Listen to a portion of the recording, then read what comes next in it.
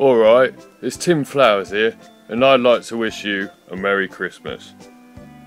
No, sorry, it's uh, it's not Tim Flowers. It's uh, Faris. it's Faris from the Horrors. Uh, I am a lifelong Blackburn fan, um, and when I was at school, I, I used to play in goal, and Tim Flowers was my favourite goalkeeper. Um, so, uh, happy Christmas, and um, I hope you enjoy my drawing and this uh, this very professional video.